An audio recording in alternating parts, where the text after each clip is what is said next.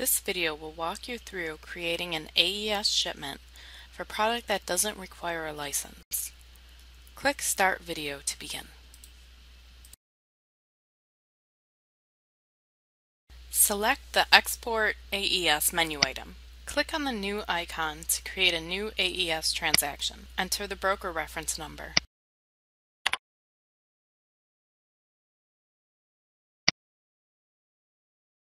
Click the ellipsis button to select the bill to party. Click the Open AES button. Click the No button. We are going to complete this AES from scratch. You can use this function in the future to copy previous AES info. The AES form is one main screen.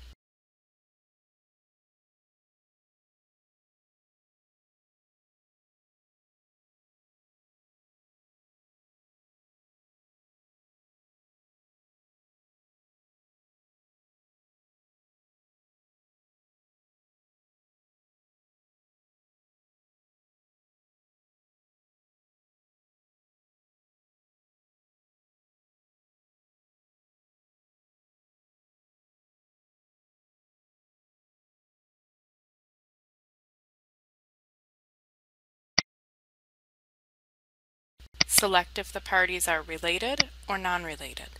Select the ultimate. Not need to enter a party ID, so remove the type if it defaults.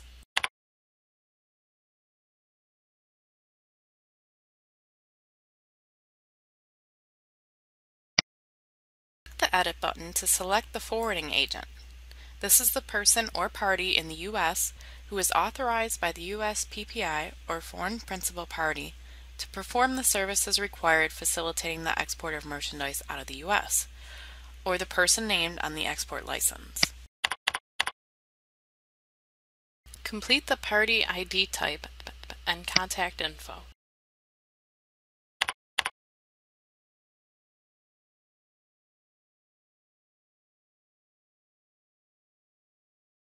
Select the date of exportation.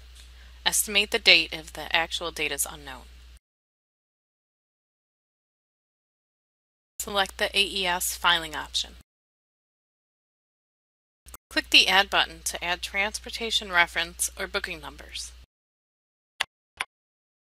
Select the point, state of origin, or enter the FTZ number.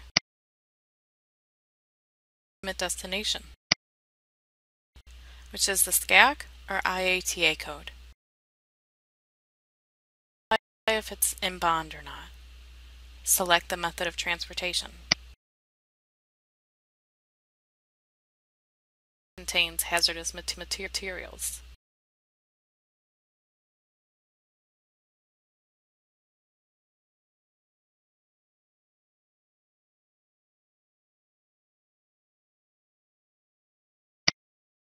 Enter the exporting carrier.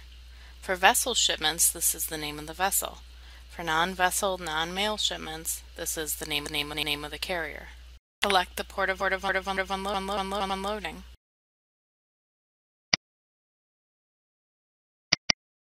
Select, select the port of export.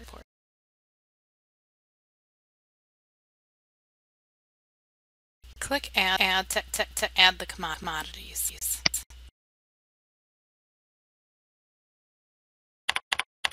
Enter the shipping weight and select the unit of measure. Enter the value of the goods. Click the ellipsis button button to search for, a tariff number number or, or, or, or enter the Schedule B number. The unit of measure, measure, measure will default from the tariff number domestic or foreign origin. Select the export information code. This is the export type. If your shipment doesn't fall under any of the other codes, select all other exports. Enter the export license number. Enter NLR if no, no license is required. License exception symbol.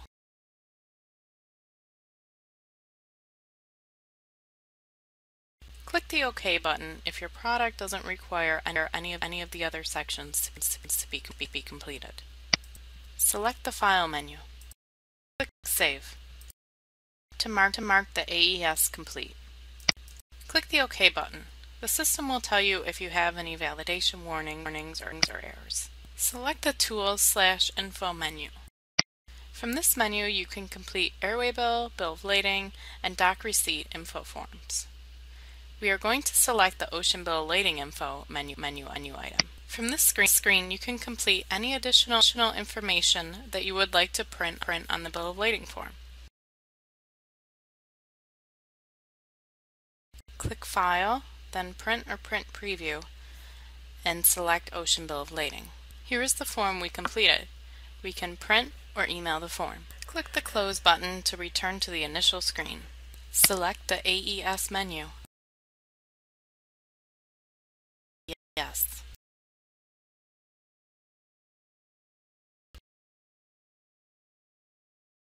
The number starting with X is the confirmation number generated by AES when the shipment data has been accepted. Select the AES menu, then Print or Print Preview. This is the printout of the shipper's export declaration, SED. Thank you for watching this video. We hope it was, it was helpful for you. For further assistance,